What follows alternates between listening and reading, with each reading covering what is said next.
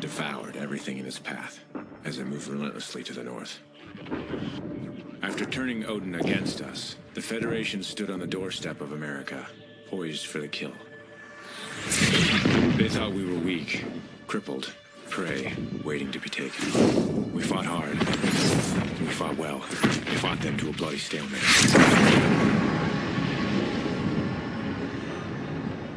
And here, just beyond the craters of No Man's Land, we find ourselves in a defensive war against a more powerful enemy.